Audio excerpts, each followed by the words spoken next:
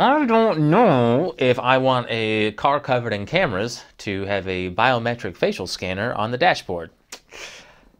For me, that's a little much. You guys can decide how you feel about that. Put your thoughts in the comments below. So, this is the touring model. Touring model. So uh, 2024 Lucid Air Touring. Lucid Air Touring. And that was, I think, That's 800 and something horsepower. 800 something horsepower. 800 and something. In four wheel drive.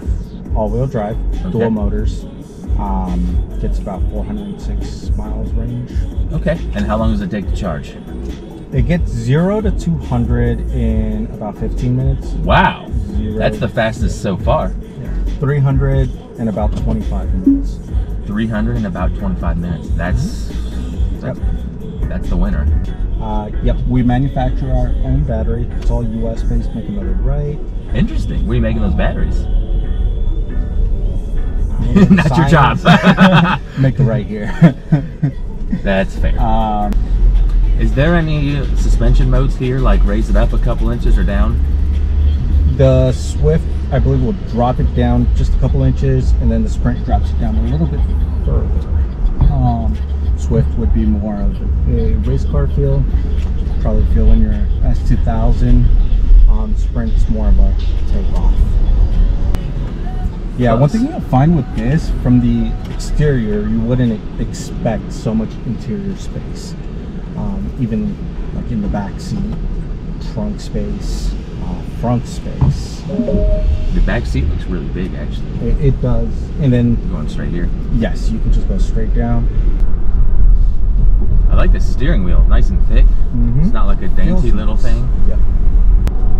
If you want to swap it over to Swift, we can try that. Or if you want to try it once we do. Well, let me get back to smooth real fast. quick. I mean, yeah, it's it's I mean, does it change the power at all? Uh, yes, yes. Going to Swift will increase the power a little bit, and then Okay. Sprint, of course, will increase it even more. Max. All right, we'll try Swift.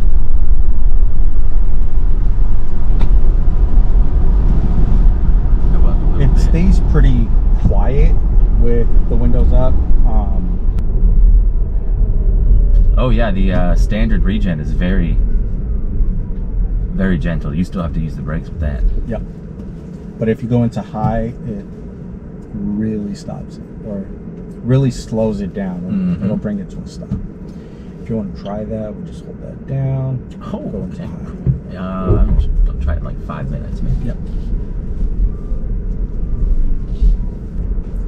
It's interesting. This has the loudest sort of Jetsons noise of all the cars. It's kind of like lets you know you're moving in a way. That's kind of nice. I almost appreciate that. The other ones are so silent on the inside. Yeah, like you could sort of get caught off guard if you let your, you know, took your foot off the gas at a stoplight or something. Yeah. Um, yeah, I know.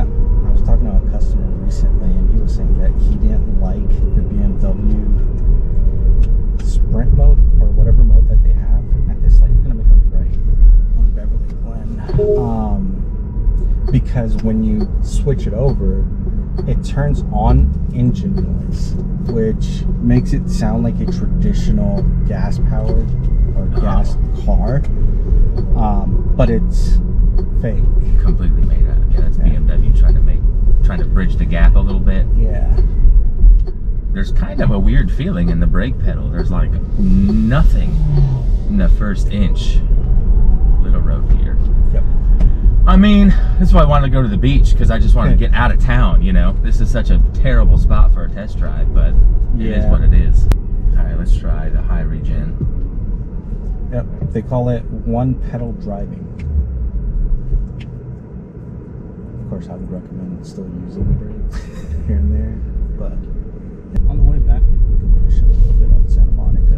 Um, There's no, we're like right in. There's no highways near here, are there? not really. No. If if you wanted something larger, we do have an SUV coming up pretty soon. I saw it on your uh, iPads in there. Yeah, it, we're expecting it towards the beginning of next year.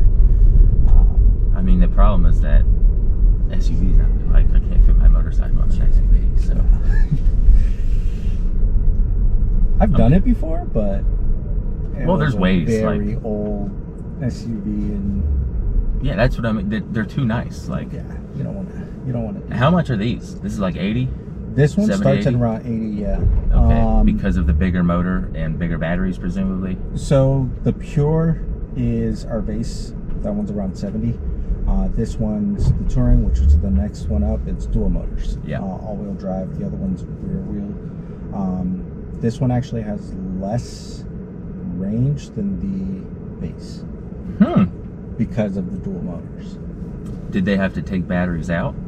Not that they took batteries out, just weighs a little bit more. So it's Oh. 420 versus 406. Not a huge difference. All right, so only 15 miles, but what? How much do these weigh?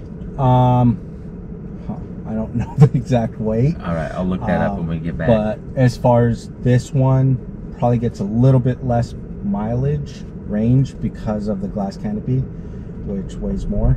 Mm, um, what is it normally? Aluminum. Okay. Uh, and then they, depending on which one you want, it can affect the range. So we'll just make it right here. Um, could swap it over to Sprint here if you wanted. Um, Man, it's not even worth it. Like, that's all. I, you know, that's all we got. The uh, Uh, but yeah, the wheels weigh it down also. This one has the 19 inch, which is probably the smallest. smallest wheels. Yep. Um, Gosh, that hit is like just. that whiplash. Sorry for. no, no, no. Should have given you a warning there. That was my fault. Imagine your your high schooler, like when a Model Three is a ten year old piece of shit, you know, and that's what we give to high schoolers as like their first car, a Model Three, four hundred and fifty horsepower. That's what a V8 and a Corvette or a Mustang used to be, you know. Yep. And literally, it's like a soccer mom's vehicle now. This one does like 0 to 60 in 3.8 seconds, I believe. Oh, it's got to be faster than that. That Rivian's 3.2. 3.5 or 3.8. The Grand Touring does uh, 3 seconds. That's got the thousand horsepower though, right? Uh, that one has the 800 something. Um, Sapphire is the performance, luxury, limited edition, special order. That one gets like 1250 ish. That's a lot. Yeah, that one's the fastest production, uh, fastest production car out there. It's uh, Guys, electric horsepower hits different. yep. I mentioned in the Rivian video, it's unreal in town and totally falls off on the highway. But I'm in town right now and I got a big smile on my face. Although it's like, I never like to use the word too much. But could I get 200 more miles of range if I only had 500 horsepower instead of 800? You might not be the right guy to ask that. yeah, I don't know about that. That's all right. Don't worry about it. Um, so the Grand Touring actually gets over 500 miles. Um, the one that's 800 horsepower. Um, Is this just regular touring?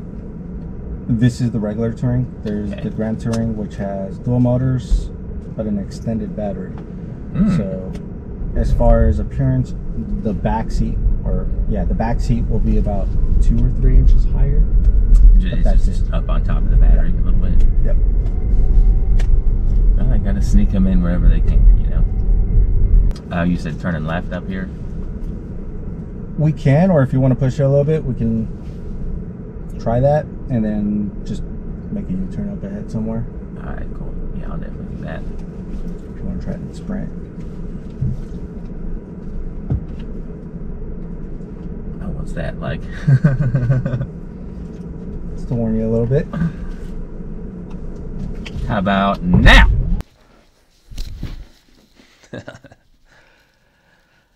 well, hello there. This is Future Maslow in my home studio. If you were looking forward to seeing a 0 to 60 run right there, I do apologize. I promise you I was too. Unfortunately, my GoPro overheated. It wasn't an air conditioned car, it was in the windshield, in direct sunlight, whatever. GoPro has a real overheating problem. I hope they do something about it in the future. But we'll just ignore that for now and wrap this bad boy up. The Lucid Air was pretty fun to drive. It definitely looks unique, doesn't look like any other electric car. It had some really cool features that set it apart, like the user interface allowed you to slide apps between two different screens in the center console, and it felt like having a desktop with two screens on it. That was really cool. It also had some super weird features like a facial recognition scanner on the dashboard that it used to set driver profiles and ergonomics. I don't know if I want a car covered in cameras to have a biometric facial scanner on the dashboard. For me, that's a little much. You guys can decide how you feel about that. And put your thoughts in the comments below. It's fast. It can be faster. It's got good range. It can have more range, I think. It charges fast, and they make uh, make the batteries in America, which I've certainly never heard another manufacturer advertise if you're in the market for an electric car, it's certainly worth checking out. And uh, yeah, thanks for watching, guys. Like, subscribe, comment, share, ring the bell, all the YouTube things. And stay tuned for more shenanigans.